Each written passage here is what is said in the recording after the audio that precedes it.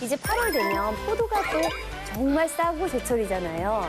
포도로 수제비를 반죽을 만들어서 해 먹을 수가 있어요. 포도로 수제비를요? 김미려의 ASMR.